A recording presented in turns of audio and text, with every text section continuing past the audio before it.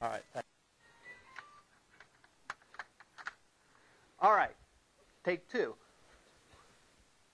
One of these days, I'm just going to, uh, you know, lip sync, talk like that, and see, see, drive folks crazy.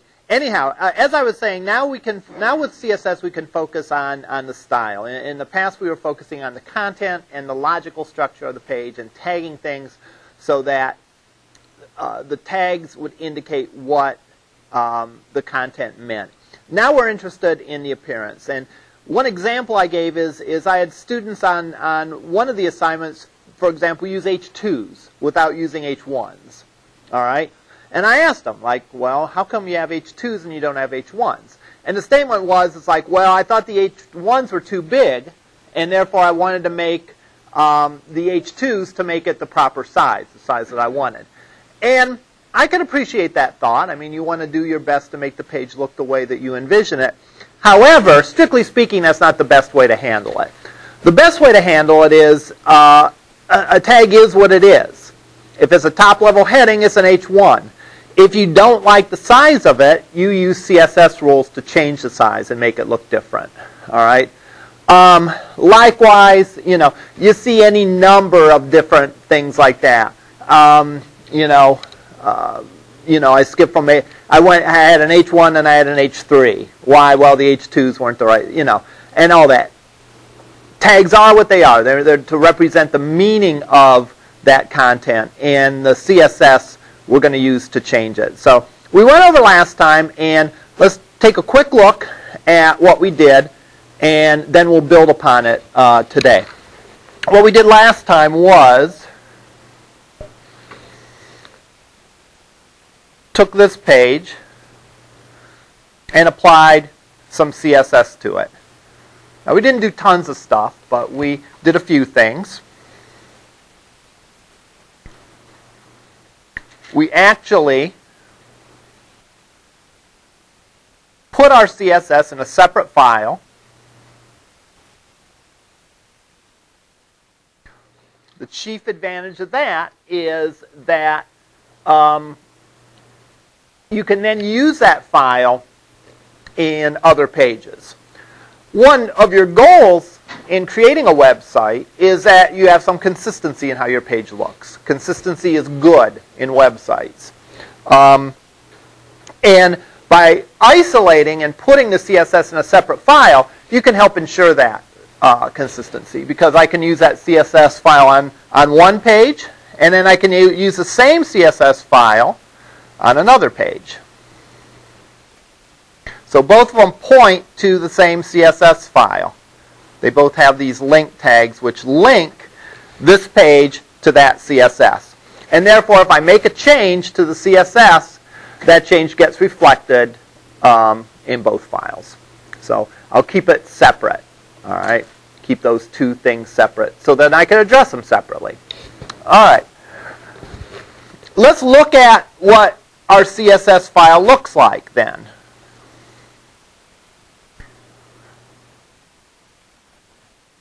All right. CSS is a, uh, a listing or is a set of what I call CSS rules. All right. Each rule has two parts. And this should largely be review, but I think it, it, it uh, bears repeating. The two parts of a rule are the selector, which is the first part, the part prior to the curly brackets here, the braces. And then within the braces, there's a set of attribute names and values. Attributes, just like we talked about before, the, the, the href attribute, you know, attributes are characteristics of the page. And therefore, we can set those characteristics. And the way we do it is we have the name of the characteristic, a colon, the value we want for that characteristic, and then a semicolon. Then we have the next name of the attribute, colon, value of the attribute, semicolon, name of attribute, colon, value, semicolon. All right. So then we end that style rule, and then we start the next style rule. So in this case, I said it's a specific style for the body. That's everything on the page. I set a style rule for the header. I set the style rule for H1s, H2s, and H3s, and so on. Now, style sheets cascade. That is what the C means in cascading style sheets, CSS, cascading style sheets. Which means that more than one rule can apply to any given thing on a page. So in other words, this, this, this rule here says I'm going to paint everything in the body with a text color of gray and a background of white. And then this comes along and says, well, no, I'm going to do it differently. I'm going to paint everything in the header section with a background of gray and a color of yellow. And then this comes along and says, no, I'm going to paint everything in the H1 with a background of blue. All right. Now, if we look at this header, we look at this tag here, this H1, it actually gets some of the rule from the H1, the background of blue, the font family, but it gets the text color from header. The more specific uh, the rule is, the sort of closer the rule is to the actual tag and the content, the, the, the, the more precedence it takes. So for example, H1 rule, this is an H1 tag. So yeah, it's going to get the rules for H1. Anything that H1 doesn't define, though, can be defined by the header. Anything that's not defined by H1 or the header can be defined from this. So you'll see this all the time where one thing on the page gets its appearance from a combination of other things. And then sort of the last thing in the equation is that the browser also has some default behavior. So for example, if we didn't set the size of this H1, which we didn't, all right, um, the browser makes it as big as it thinks H1 should be. All right. Any questions about this? So, what is learning CSS about? Learning HTML is about learning what the proper tags are and what the attributes for those tags are and how to use the tags. CSS is about learning all the different ways we can use our selector. All right? Because this is just one way, one style, one, one, I shouldn't use the word style, one kind of selector, where we have a selector that corresponds to an HTML tag, where we say every HTML tag on the page of this type gets the style rule. There's other kinds of selectors as well, and, and we'll go over them, maybe some today, if not, then definitely some next week. All right? So that's one thing. We're going to refine our selectors, and we're going to, we're going to be able to not make everything on the page of a certain tag, but maybe make just a couple of things, a couple things that we want to give some special emphasis to. All right? The other thing we're going to learn about is we're going to learn about all the different attributes that we can set. All right. So in this case, we've set, we, we've played with uh, really three attributes: the text color, the background color, and the font family. What else can you set?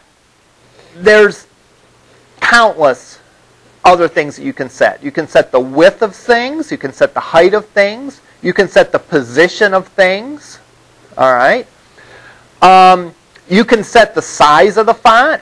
You can set the border around something. You can set the space between the letters. You can set the space between two different things on your page. You can set a border. You know, just about anything you can imagine that deals with the appearance, you can control. The space between lines in a paragraph, you know. Um, just about anything you can think of, we can control. Well, so it's going to take a while for us to, to learn. Um, I won't even say to learn all of them, because we're not going to learn all of them. But we'll learn enough of them where you you'll be able to do some fundamental things, and you'll then have the tools to be able to go and look up something if, if, you, if we haven't talked about how to do that. Like maybe we haven't talked about how to make the text a bigger size for example. Well, you kind of get the idea of how this works. You can look it up and you can see how to do that. So, yes? Are there any uh, global CSS formats, especially for mobile uh, web pages, or do you have that kind of individually?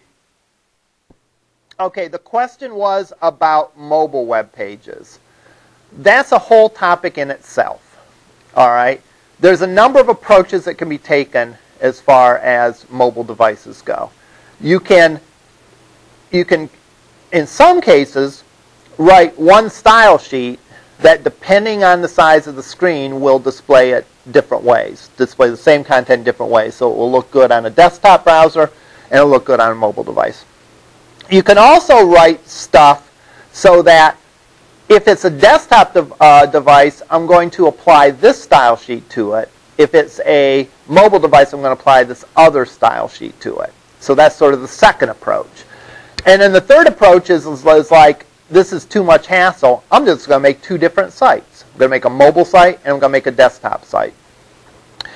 Uh, now, they all have their advantages and disadvantages, to be sure. Um,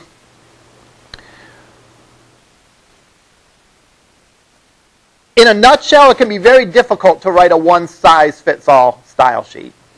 If you can imagine the difference in screens, you know, the difference in screen size is, is crazy, right? From a little phone that's so big, you know, to some of them big monitors that are this big. To, to create a web page that looks good in both of those with one style sheet, that's going to be tough. All right? Not to say you can't do a pretty good job with it, but it can be tough. Um, writing code that applies one style sheet in one case and one style sheet in another case is sometimes a pretty good idea. And you can get that to work and you can, you can then tweak the mobile to look good for mobile and tweak the desktop to look good for a desktop. Um, but you're still taking one page and trying to stretch it and push it and gouge it into shape for two radically different environments. So sometimes people throw their arms up and say, "I'll just have two different mobile, two different sites, one for mobile, one for that." That way, hey, I can make the mobile one look really good for mobile. I can make the desktop look really good for that. And I'm not worried about like taking one and trying to like push it into uh, uh, you know into accommodating both environments. Now, which approach you take depends on a lot of things. It depends first of all on your content. All right. Um, typically, the sites that go for two different sites um, have a lot of content and have some things that you might want to see if you're browsing from a desktop, and then different things if you want to see if you're browsing by mobile. All right. For example, uh, LC's site. LC has a different mobile site than they have a desktop site. Why? Well, because chances are if you're browsing to LC's site on a mobile phone, there's maybe just like a handful of things you want to do. Maybe you want to look up someone's phone number because you want to call and, and, say you're going to be late for an exam, or or maybe you want to see if the uh, classes are canceled because of snow, or or whatever. All right. Whereas if you're at your desktop working on it, you know, there's probably a lot more stuff that you're going to want to do. Maybe plan out your schedule and see what courses are required for a degree and so on and so forth. So when you have really a lot of content and you have two groups of people with really different goals, then you go for the two uh, um, sites.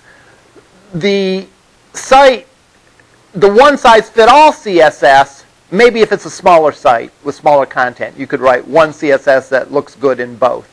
And we'll talk about sort of flexible CSS versus rigid CSS uh, coming up. And then the last, the middle ground of like having one page but applying different style sheets, that's sort of between the two extremes. Where you don't have a tiny bit of content, but you have a pretty good amount of content, but you don't have a massive amount of content. You can tell I'm excited about this, all right? Because uh, we recently introduced a couple new classes, and one of them is a mobile web development class. Um, and so that, that's a good class uh, to consider taking uh, in future semesters. We actually just got our degree program approved by the Ohio Board of Regents, so we're pretty excited about that. And this is the first semester I'm teaching some of those classes. So um, that is probably uh, a longer answer than, than, than you had expected, but it's not as long as I probably could make it, all right? Because that's really what we talk about uh, in detail in in uh, the mobile development class. Now, bringing this back to relevance to this class, all this stuff starts. All these good things that I'm talking about, being able to do this, that, and the other, starts with having a good separation between your HTML and CSS. If you do that, then you're in a position to be able to apply different style sheets and so on. All right, great question. So, learning CSS then, what does it consist of? Well, learning more about what the selectors are, learning more attributes that we can set, and learning what the possible values are. Because, you know, I didn't make up the word color. That's one of the predefined attributes, so I can change. I didn't make up the word gray. All right? I can't just put anything in there. I can't put and say, well, I want it to be kind of a lightish gray that almost looks like silk. You know, you can't do that. You have to follow some basic rules as far as the names of the attributes that you put in. All right? So let's talk first about color and how we can express color. We can express colors a couple different ways, all right, or several different ways actually. We'll focus on we'll focus for now on two of them, and then we'll, we'll expand this to, to other things uh, going forward. The first way to do it is via the name of the color. However, there's a lot of colors that have names, but you know you have to know exactly the name of, of it. And you have to know what to put in. And so it's not necessarily that every color you can think of is there's going to be an HTML color for it. So what you can do is if you go and Google, and I think there's one of these in Angel. Oh, the one in Angel's broke? Shoot you can go and say HTML color names.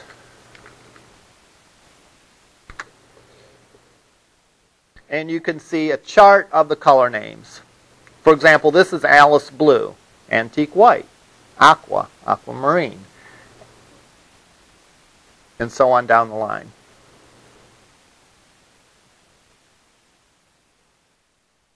So you see there's a lot of them.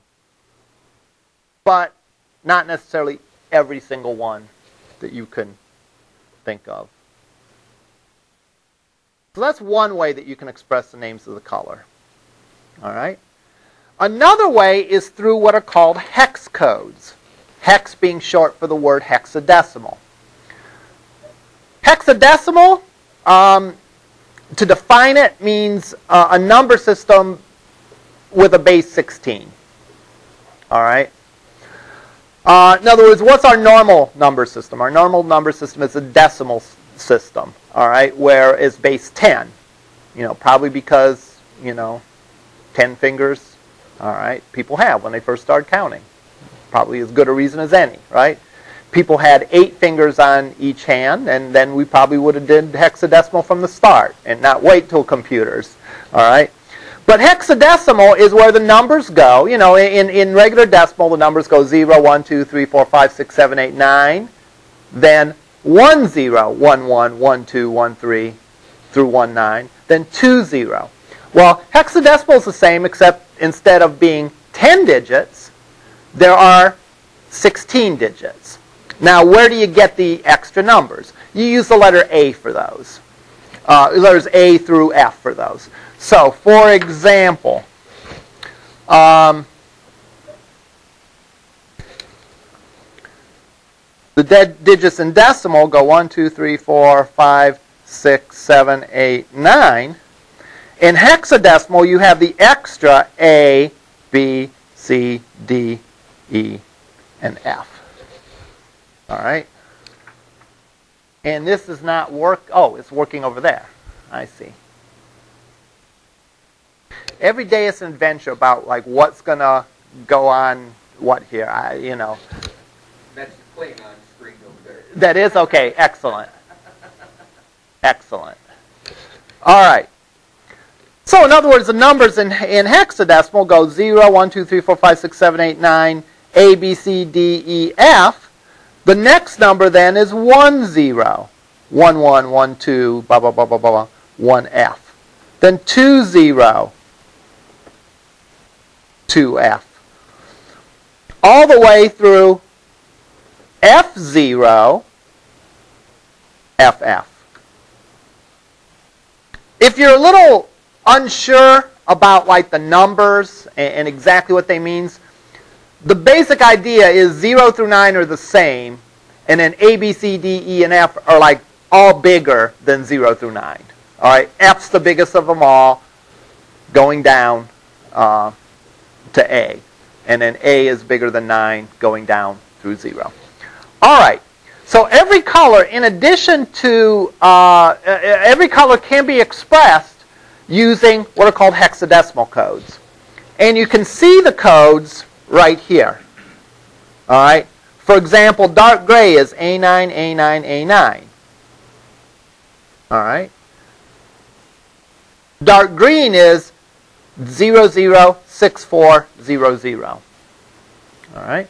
Now, the good news is is you can use this chart without having a clue how it works just by cutting and pasting. So, you know, we're going to try to do better than that. I'm going to try to, to make you understand or, or, or help you understand uh, a little more detail about this. But the good news is if you don't understand anything I say, all right, you could go here and copy this color of dark turquoise and put it in your CSS file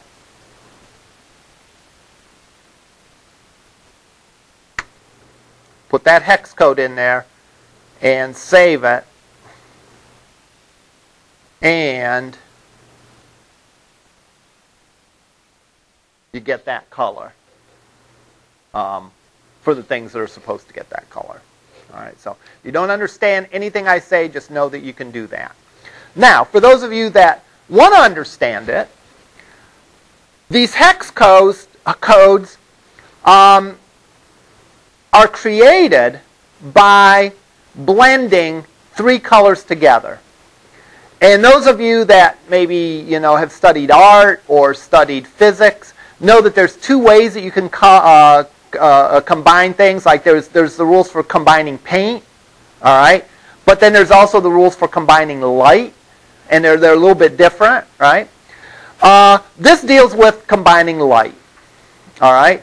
In fact, if any of you remember the old, I guess they're not that old, uh, but uh, but like projection TVs, like those big old projection TVs that had that, you'd notice that there were three colors coming out of it. There was red, green, and blue, and you could get any color by simply the right mix of red, green, and blue. All right, and that's the basis for these hex codes as well. All right, there is red, green, and blue. The pound sign simply indicates we're using the hex code instead of the name. All right, that way there won't be any confusion on the browser's part. Now, the first two digits of a hex code relate to how much red is in it. The next two relate to how much green is in it. The final pair relate to how much blue is in it. So think of this as having three lights, a red, a green, and a blue, all shined on the same spot and you can turn each one of those up individually. All right? So, zero means that they're all off. If they're all off, what do you have? You have black. It's dark. There's no lights on. Conversely, if they're all on,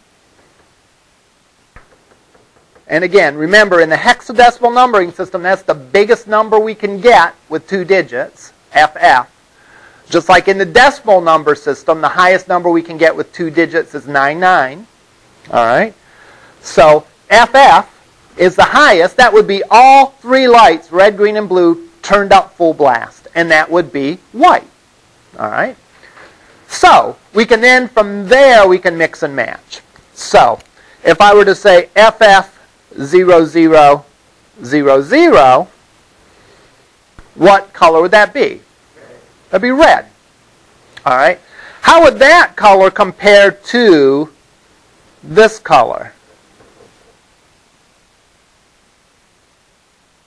FF000, how would that compare to 99000? A little bit lighter red? Which would be lighter? 99 would actually be darker. Th- think of what you're doing. Okay, yes. This number, right, is less than this number. So actually, 99, we're turning down the red a little bit. So there's not going to be as much red, so it's going to be darker. All right? If we did something like this, 110000, that would be red that almost was hard to tell it was red. It would be a very like dark red. It would almost look like it's just like a black with just like a reddish, you know, a little bit of reddish cast to it. Now, what would this be?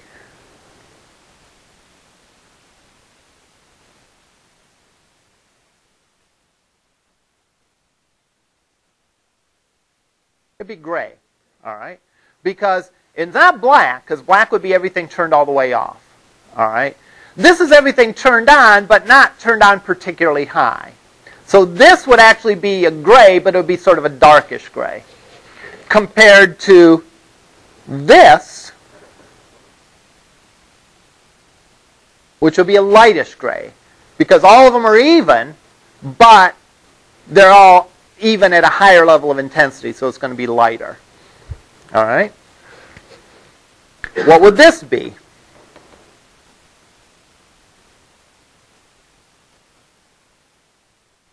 It'd be purple. Because we have red full blast, we have no green, and we have blue full blast. If we did this, how would this color compare to this color? All right, it'd be darker, be and it would be a little more red. All right, so in other words, this would be purple purple. All right, this would be maybe a reddish shade of purple.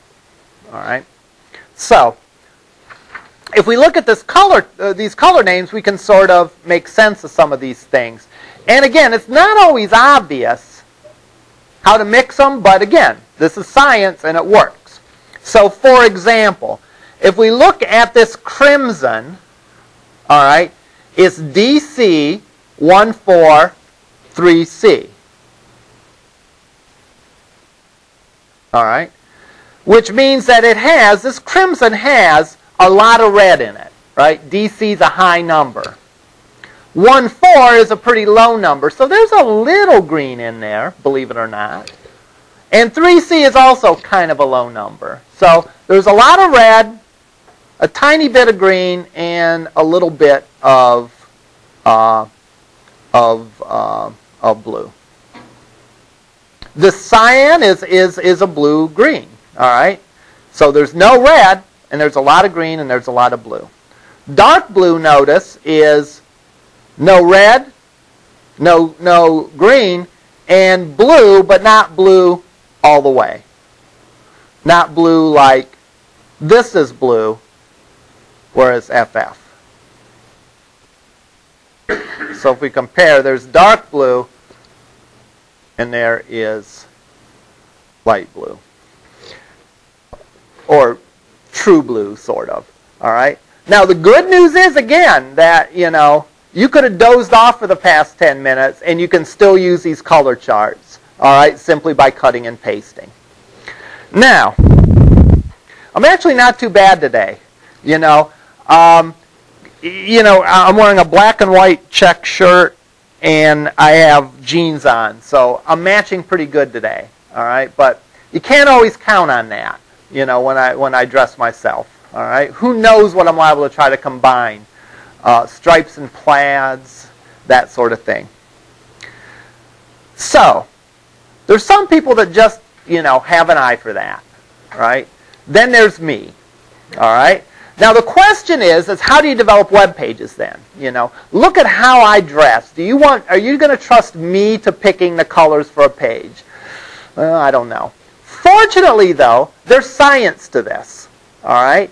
And science is something you can apply systematically, and you can you can say there are rules for what colors look good together based on the in- relative intensity of the shades and all that. And there's complementary colors, and there's a whole lot of science going on here.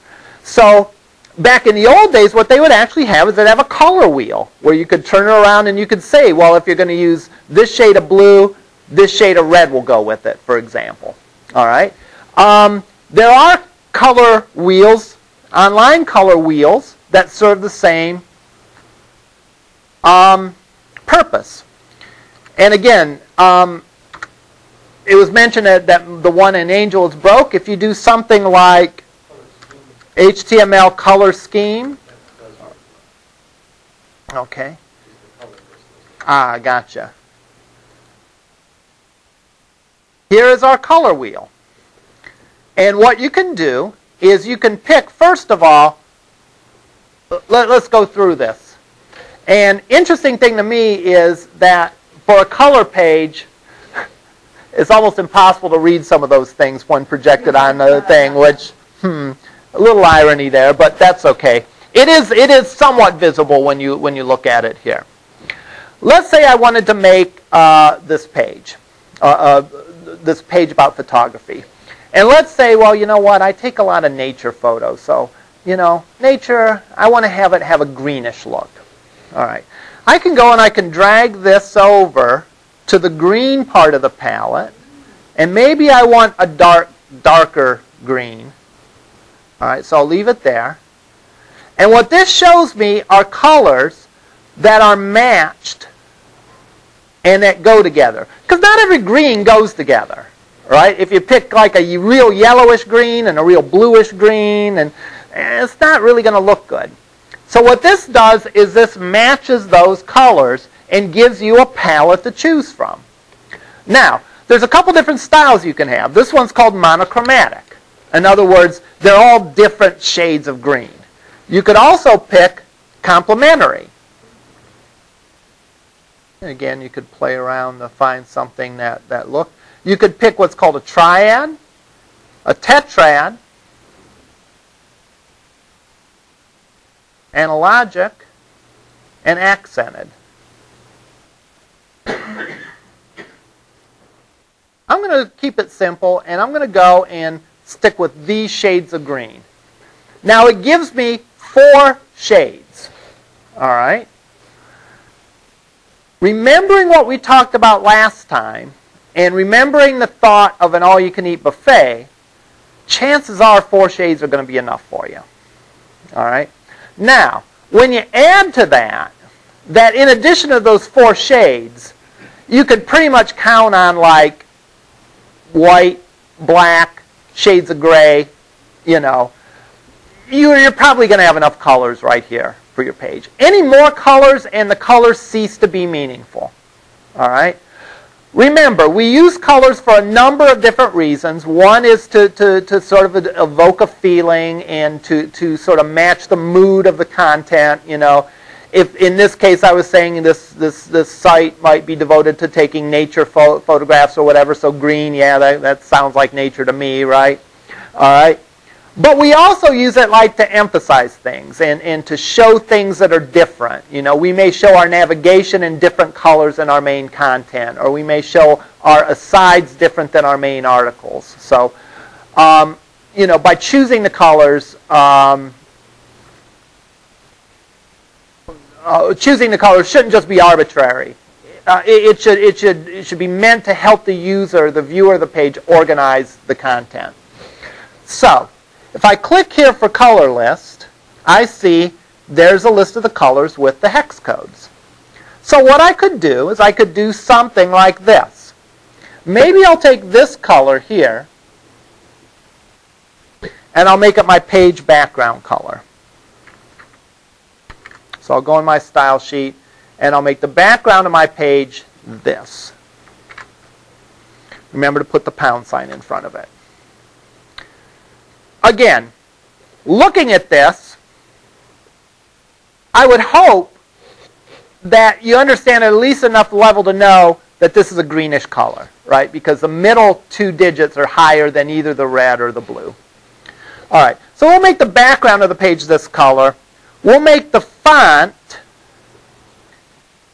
the darkest to achieve the biggest contrast between the background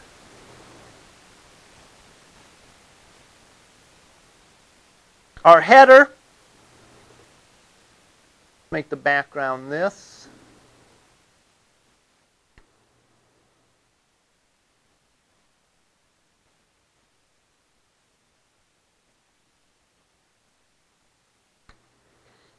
And let's make the text color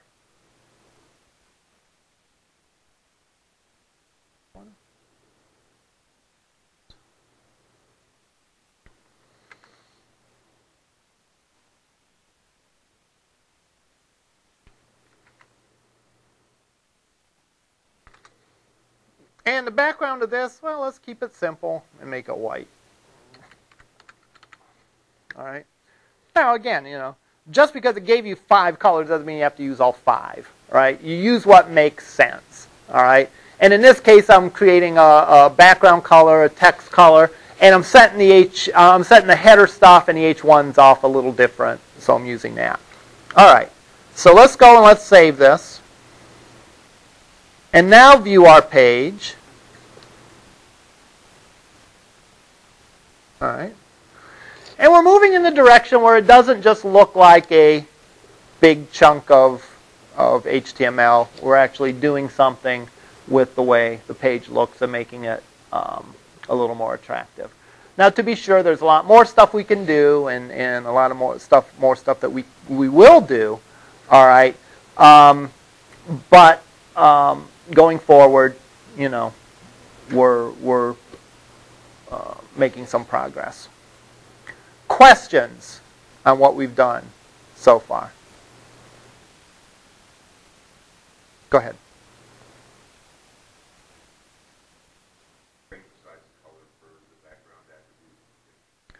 Ah, excellent question. Can you use something like an image? And the answer is you absolutely can. All right? Um, you need to be concerned about a couple things when you use uh, an image. First of all, it's going to make the download of the page slower. All right. Secondly, it is going to um, you run the risk of it interfering with the text, uh, depending on the kind of image it is, and, and so on and so forth. Um, there are some things that you can do. One thing you could do is you could sort of like wash out the, uh, the image to make it look more like a watermark. Uh, that's one possibility. Um, let's take a look at doing that, though. All right, that's a good question. I was, I was just looking at the clock and thinking, what am I going to talk about for the next 10 minutes? And this is good a, good a thing as any. All right, so let's go and let's find an image. Pardon me? Uh, I don't know.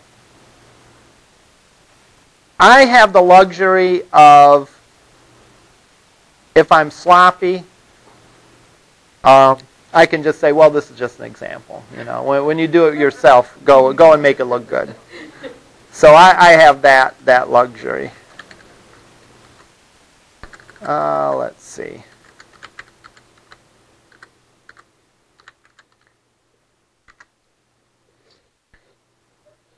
Let's go here and I'm in Flickr.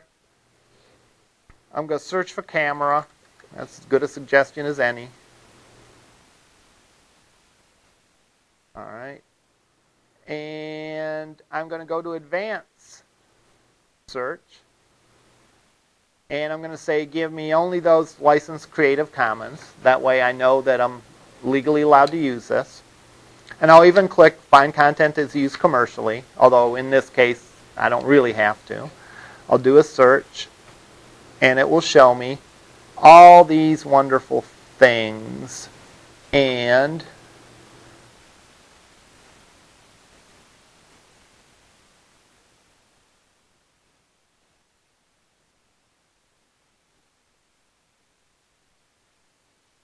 yeah let's let's take this one.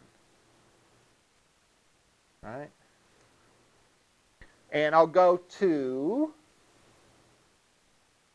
view all sizes, and I'll pick the largest version and I'll download it.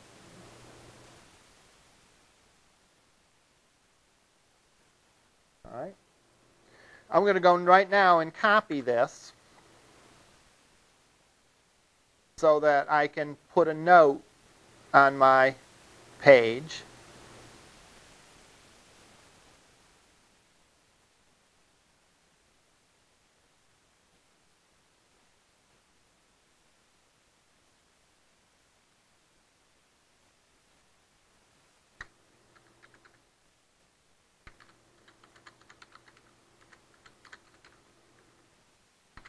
All right, there we go. So, where'd that image go?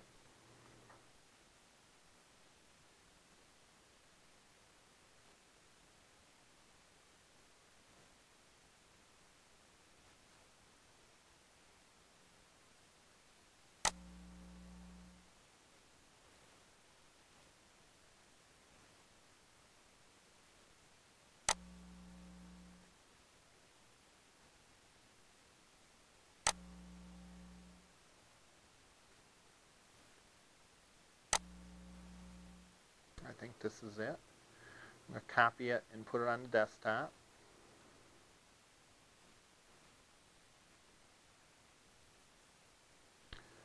And I'm going to go and rename this guy to BG. Just so that. Oops.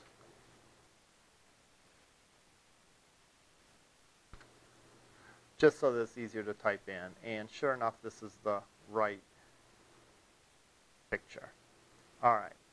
So, if I go here now and, and how to make it as part of the background, I can go and edit my CSS. All right. And one thing I could do is instead of a background color, I can say background URL.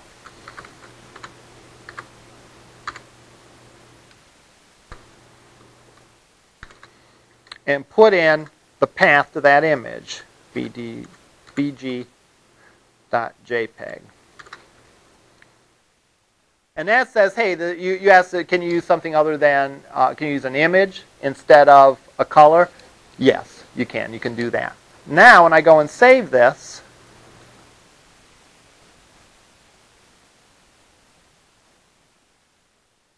there it is. Problem is, is now the text is very hard to read. All right. Now I could do something like, let's try making the text white. Maybe that'll help me. All right. So I'll go on my style sheet and I'll make the text white.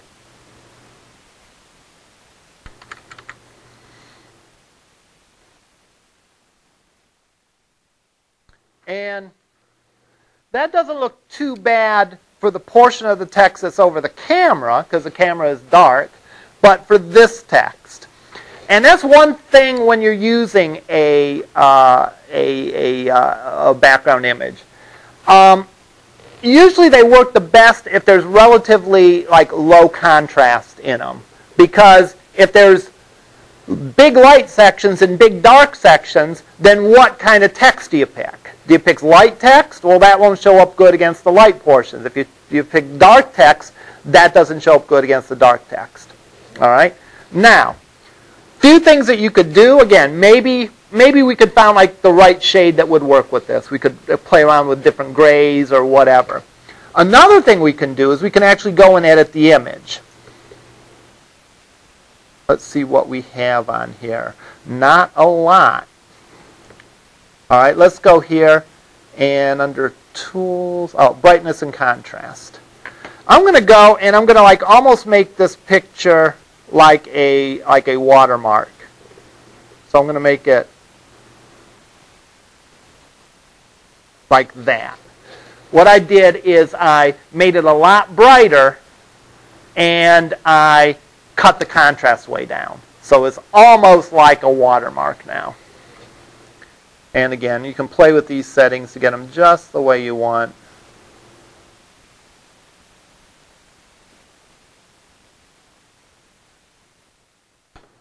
And now I'm going to go and save it. And now if we go look at this page, well now the white isn't a good choice. Let me go and go back to the original green and all right, that doesn't look bad now. All right. So the point is is yes you can do images. The problems associated with the images, uh, though, uh, are that it adds to the download of the page. Now, um, now this page is going to be downloaded, and, and it's going to take a while to download that. Um, the other thing, though, is is just be sure that your uh, your your background doesn't interfere with uh, that. Um, now, background images, it's not obvious. Well, yeah, we can tell. Notice that it actually tiles the image. In other words, since there's more content, since the content available was bigger than the image, it actually creates a second copy of that. And you can prevent that through the, the through the CSS rule. You can say not to repeat it. All right. The one thing that is often done, and we won't do it today, but we might do it next time. Uh, we'll definitely do it in one of the next several classes. Is you can make like a little almost wallpaper behind it. All right. In other words, you could have your text sort of like in a window in the middle of your page, and have like some sort of like decorative wallpaper almost, for lack of a better word, going around it. And we'll, th- that's something that, that's commonly done. That has the advantage of, doing it that way has the advantage of, since you're only downloading a small image, and it gets tiled going across and, and vertically, it doesn't like really add much to the download speed. Uh, and in addition, you know, you, you have it just sort of peeking around from the edges so it doesn't get into the way of the content. But we'll look at examples of that uh, next time or sometime soon. All right, questions? Yes. You have the uh, CSS as an external file. Does that affect uh, the URL, URL, whether it has to be relative or? When you have the CSS as an external file, if it's not in the same folder as the the page, yeah, I believe it would. You'd give you'd give the path relative to the CSS file. So for that, the background image, for example, within the CSS, regular conventions for the relative. Yes. Yes. You can do that in HTML or, or CSS anytime you have a reference to a file, like even with an image. But uh, yeah, for that. And if I'm not mistaken, mistaken, yeah, it would be relative to the CSS. For starters, let's you know if we keep everything in the same folder, then it's not an issue. All right. But for those of you that want to start breaking things down into different folders, it should be relative to the CSS. All right. We'll see you over in Lab.